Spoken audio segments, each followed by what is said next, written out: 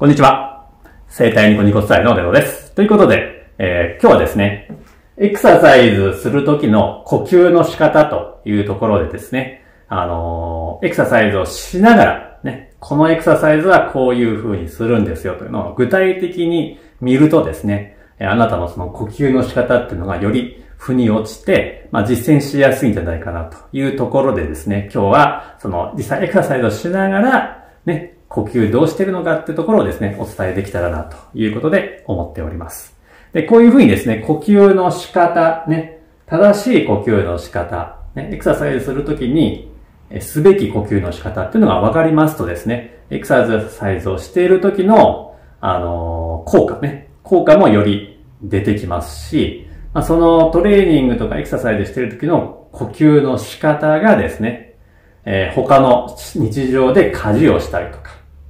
ね、お勝手仕事をしたりとか、あるいは仕事をしているときに自然に出るようになりますので、よりですね、あなたの、ま、日常で自然な呼吸ができることによって姿勢が崩れなくなって、体が固まらなくなって、痛みが出にくくなって、よりですね、気持ちよく生活できるね、そういう、まあ、まあ土台みたいなところになってきますので、この呼吸っていうのはですね、呼吸はやっぱ大事ですので。ですので、今日ね、そのエクササイズ通してですね、お伝えできて、まあ、できればなと思ってますので、ちょっと気になる人はですね、続きをご覧になっていただくといいかと思います。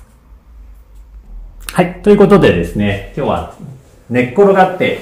エクササイズをしていきたいと思います。この万歳エクササイズですね。まあ、知ってる人もいると思いますが、まずここ、だらーっとですね、仰向けに寝っ転がっていただいて、そこからですね、手をスーッとですね、スーッと万歳していきます。手はね、この向きですね。この向き。こうじゃなくて、この向きですね。この向きで、スーッと万歳していきます。スーッと万歳していきます。スーッと万歳していきます。スーッと万歳して、ちょっと手が隠れちゃいますね。下に、下に移動します。ね、もう一度いきますね。スーッと万歳していきます。スーッと万歳していきます。ね。で、意識できる人はこの手から、手の指先からレーザービームが出てて、レーザービームでこの天井ね、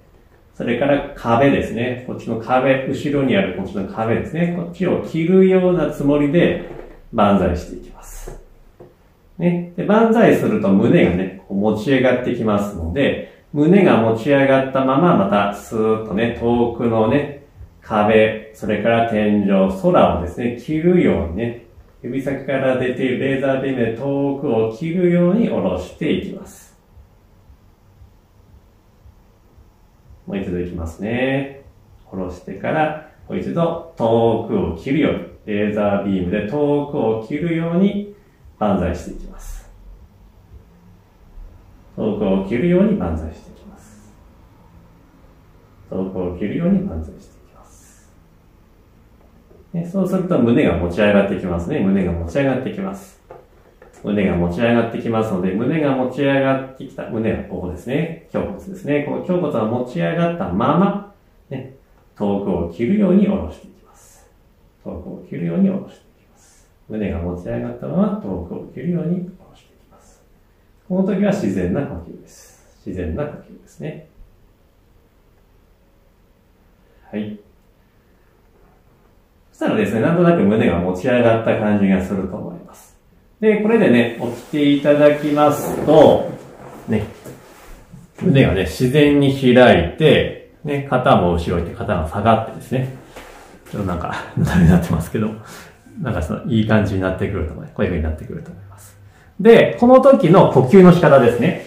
呼吸の仕方は自然な呼吸です。なんで、こう寝っ転がった時に、まあ、自然な呼吸してると思いますけど、この呼吸を崩さずにですね、リラックス今して寝てますよね。この自然な呼吸、今吸ったり吐いたりしてますよね。まあ、よくわかんない人は手をお腹に置いていただいて、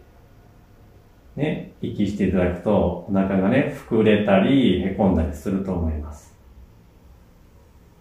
この自然な呼吸をもう崩さずにですね、1ミリも崩さずに万歳していきます。なのでですね、この万歳エクササイズやるときに特に多いのが動きが速い。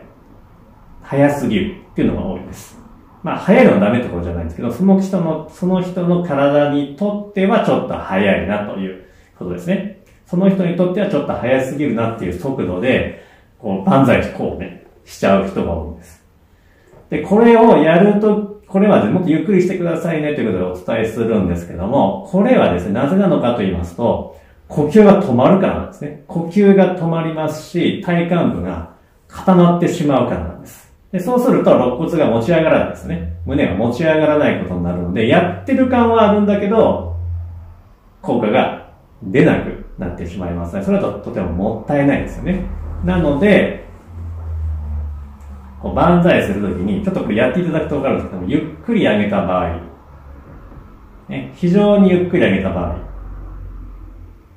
ちょっと息ね、自然に今してると思うんですね。ちょっと意識、まあ呼吸を本当に意識したらダメですけども、自然にしている意識を、ちょっと感じていただくと。ね。自然に今意識しているのを感じていただく、感じるね。だから自然にこう、ゆっくりやると自然に呼吸ができてると思うんですね。で、これをですね、スッと、パッと上げるんで、パッと上げると、一瞬呼吸が止まるのがわかるでしょうか。ね。パッと上げたら、これ呼吸止まりますよね。では、呼吸が止まらないぐらいの速度。これぐらいでちょっと早い、ちょっと早いかもしれないですね。これぐらいだと自然に呼吸できますね。っていうふうに、あなたがこの自然にリラックスした時にできている呼吸を崩さないよ。ね、呼吸が止まらないでできる、この動きの、まあ、この速さですね。手の、この万歳の速さはどこなのかってことですね。これをですね、観察してほしいわけです。なので、呼吸を意識、これでですね、呼吸を意識すると、吸ってーってってね、やると、これも体固まるんですよ。これはですね、より、あの、これも、これも感じると思うんです。って、吸ってくださいってってね。ね、上げながら吸ってくださいで。吐いてください。とかやると、この辺力入りませんかね。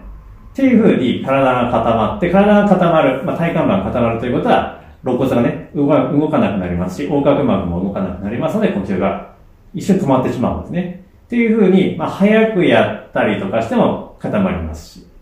ね、呼吸を意識しても同じように固まって呼吸が止まってしまう。ですから、まあ、自然な呼吸でできなくなっちゃいますね。自然な呼吸できなくなっちゃいます。で自然な呼吸でできないってことはですね、まあ、あの、エクササイズの効果が出ない。要は姿勢が改善しない。ね、先ほどやったらね、胸がこう持ち上がったりしたんですけども、まあ、パッと上げたりすると、ちょっとね、ちょっと、ぐっとこうなるわけです。ぐっとこうなるわけですで、姿勢がこう崩れてしまうということになってしまうわけなんですね。なので、いかにこの自然な呼吸でできるか、その呼吸の吐くタイミング、吸うタイミングよりも、いかにこの自然な呼吸でできているか、こっちが、まあ大事ってことですね。ななぜかというと、体が緊張してしまうと姿勢が崩れてしまう。関節がずれてしまう。だから、後々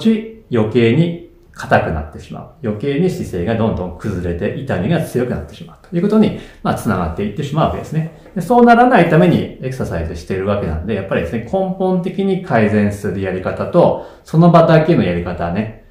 長く続けていくと